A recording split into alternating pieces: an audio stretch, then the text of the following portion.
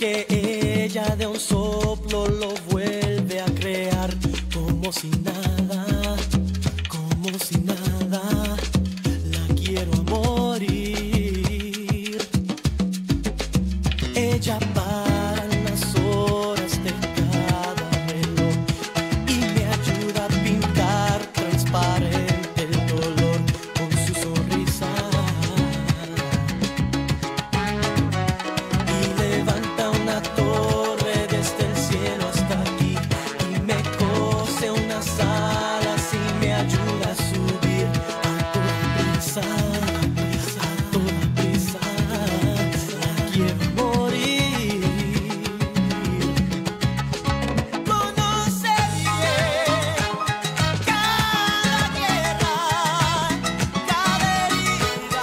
la siguiente entrevista.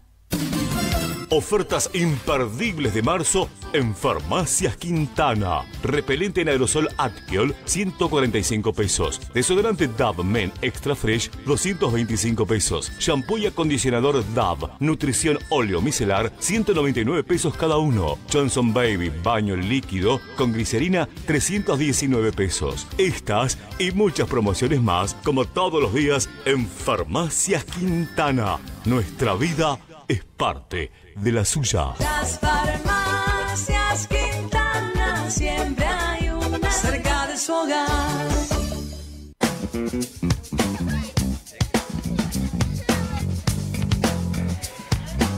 10 y 40 de la mañana. Bueno, hoy es el día de los derechos de la promoción a las personas trans y bueno, tenemos a una invitada quien es la indicada para, para que nos hable de, de lo que significa este día. ¿Cómo estás? ¿Cómo Gemma estás? Rosales, Buenos días. delegada de INADI San Luis. ¿Cómo estás? Buenos días. Este, bueno, sí, hoy se cumplen 10 años de la desaparición física de Claudia Pía Baudraco, eh, la primera, la fundadora de ATA, De ATA, Red Nacional, la. Asociación de Travestis, Transexuales y Transgénero de Argentina.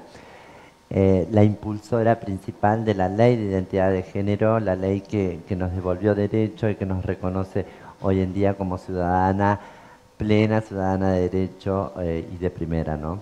Eh, Gema, ¿qué significa eh, hoy di- 18 de marzo?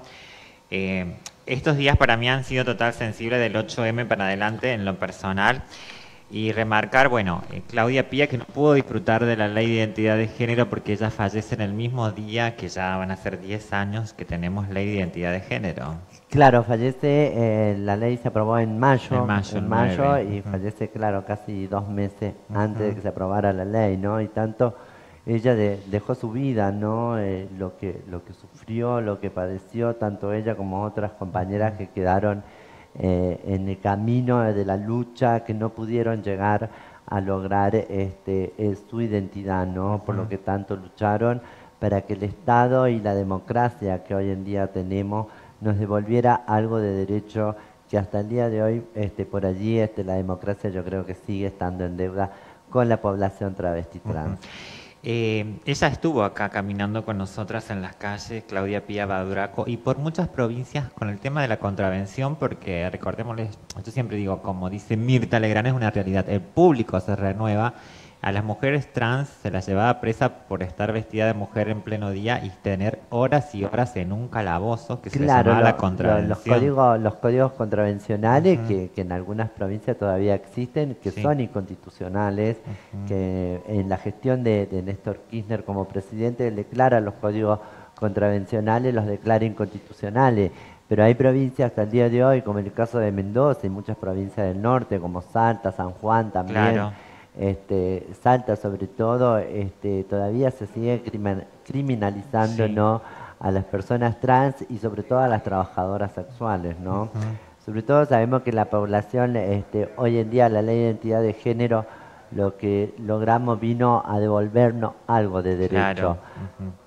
Tenemos un, un 50 y 50, pero hay un 50 que todavía nos falta, ¿no? Claro. Entonces, eh, yo creo que esta fecha es para reivindicar nuestra Sí. lucha, para, para agarrar más fuerza y conmemorar a aquellas personas trans que quedaron en el camino y que no pudieron lograr ni este, ser reconocidas por su identidad, ¿no? Eh, lo que vos estás diciendo es algo, decir, de 50 y 50, no sé si tan así, si lo pensamos bien, y si el comunicador que está del otro lado del oyente, es decir, 10 años que van a cumplir ahora la ley de identidad de género y pasaron 9 años para poder tener un cupo laboral trans. O sea, imagínate todo lo difícil que es para una persona trans, todo el doble de lo que le cuesta a una persona trans siempre. Sí, por supuesto. Yo creo, bueno, hablo en el caso de San Luis, hay otras provincias que, que no llegan ni al 50 del Claro. reconocimiento de sus Ujú. derechos, ¿no? Sí, Como sí, el sí. cupo laboral, que, que sabemos que... No, si yo lo digo a nacional. Claro. Acá somos una privilegiada Acá muchísimo. somos una privilegiada, este, tenemos muchísimas compañeras dentro de la administración pública, este, que estudian, que trabajan, ¿entendés? La salud, el acceso a la salud sobre Claro. todo también, que es muy importante y que sabemos que eso también es una parte del índice de, de- de promedio de vida que nos marca, ¿no? Claro. Entonces, en otras provincias no, está lejísimo todo eso, ¿no? Les habrá solucionado la ley de identidad de género un 10%, pero tienen un 90% que todavía debe solucionar el Estado, el Estado Nacional y cada uno de sus estados provinciales, Claro, ¿no?